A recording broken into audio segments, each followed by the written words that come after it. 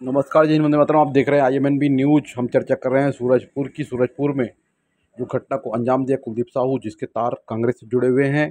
कांग्रेसियों ने लगातार इस बात से इनकार किया, लेकिन सोशल मीडिया में उसके पोस्ट से इस बात की चुगली खुलेआम हो रही थी कि कांग्रेसी नेताओं का वह करीबी है और कांग्रेस से जुड़ा हुआ है। समय समय पर कांग्रेस के पोस्ट भी जारी करता है और कांग्रेस के विज्ञापनों में भी उसके चेहरे दिखते हैं कुलदीप साहू।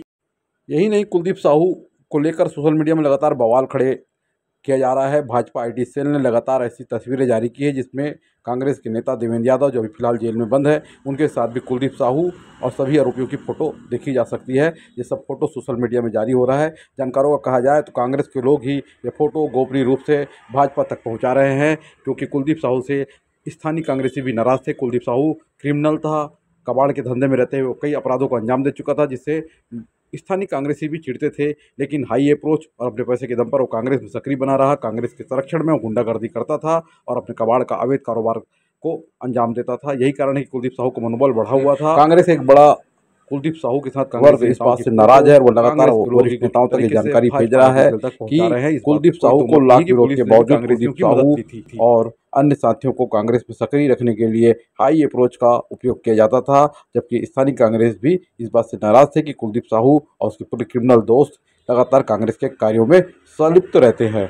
कुल मिलाकर जब कांग्रेस ने इस हत्या को लेकर हंगामा किया प्रदेश में सवाल खड़ा किया उस समय कांग्रेस के बड़े नेताओं को ये पता नहीं था कि कुलदीप साहू उनके ही पार्टी का कार्यकर्ता है, उनके ही पार्टी का खास कार्यकर्ता है।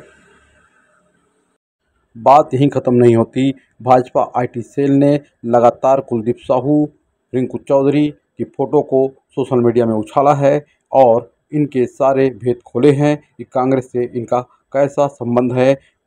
कुलदीप साहू के फेसबुक अकाउंट में कांग्रेसी नेताओं की भीड़ लगी हुई है। कांग्रेस नेताओं के जन्मदिन पर कुलदीप बधाई देता नज़र आ रहा है। ऐसे कई पोस्ट हैं। अगर कांग्रेस से उसका झुकाव नहीं था तो भारतीय जनता पार्टी के नेताओं को वो बधाई क्यों नहीं दे रहा है? वो लगातार कांग्रेस के नेताओं को ही बधाई देता नज़र आ रहा है। कांग्रेस भी अब लुके छुपे ढंग से इस बात को स्वीकार रही कुलदीप साहू उनका सदस्य था किसी न किसी रूप में, क्योंकि स्थानीय कांग्रेसियों ने, सूरजपुर के कांग्रेसियों ने भी दबे जवान कुलदीप साहू के विषय में बोलना शुरू कर दिया है।